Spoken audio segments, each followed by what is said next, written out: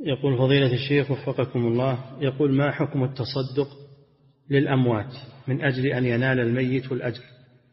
هذا طيب إذا كان الميت مسلم وتتصدق تجعل ثوابه للميت هذا طيب.